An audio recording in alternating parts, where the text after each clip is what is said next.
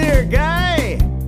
Every year, me and the guys take a week off work in late February and hit old Lake Winnebago to try and get us a sturgeon.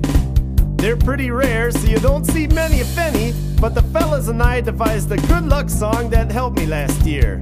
And it goes like this I'm gonna spear me a sturgeon, get me a sturgeon,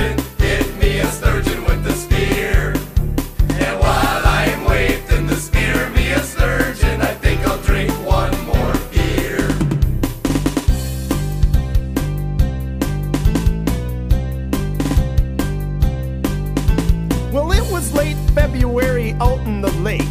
Got the ice off the truck, cut out a big ice cake.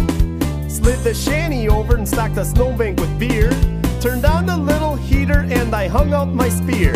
Well, I'm the best sturgeon spear on the whole lake, and when I go home tonight, I'm eating sturgeon steak. I just got to be patient and wait for the slaughter. I opened the beer and started to peer into the murky green water. I'm gonna spear me a sturgeon,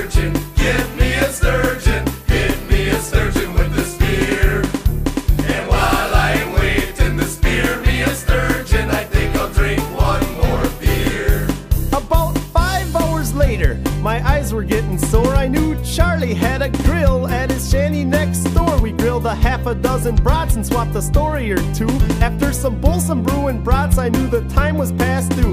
I said an 80 pounder's what I'm gonna bushwhack, so's I better head her back to my own ice shack.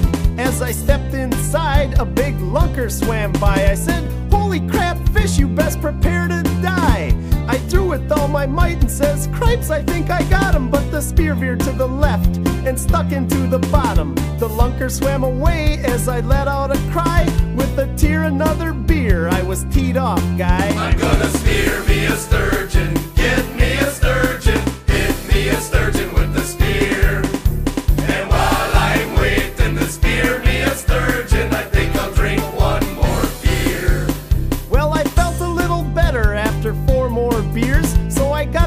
Together and I wiped up my tears.